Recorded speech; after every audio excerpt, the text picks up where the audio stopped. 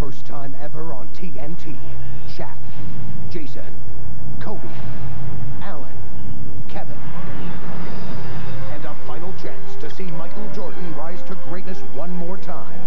From TNT, the only time of the year when the best battle the best.